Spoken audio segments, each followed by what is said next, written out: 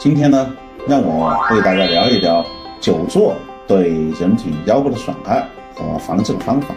那么长期久坐可能导致以下的腰椎问题：首先是腰间盘突出，第二是腰肌劳损，第三，长期久坐可能导致脊柱侧弯，第四，坐骨神经疼痛。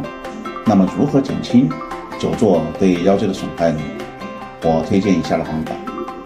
第一个是使用正确的坐姿，保持腰部的挺直，保持身体的重量均匀分布。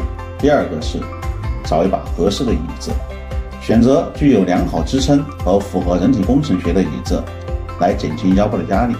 第三个，定期的活动，每隔一段时间活动一下，以缓解腰部的疲劳。第四个，进行腰部的锻炼，如小燕飞、游泳等等。最后呢？调整一下工作的方式，避免连续的久坐。如果已经出现了腰部疼痛，怎么办呢？首先，我建议您就医检查。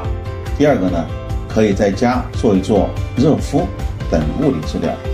如果腰部疼痛的厉害，建议您佩戴腰部的护腰。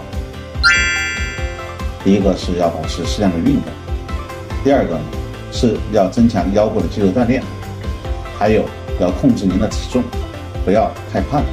最后，要定期检查一下自己的腰椎有没有问题。以上呢，就是我对大家提出的建议。一、二、放，就是一、二、放，再来一次，一、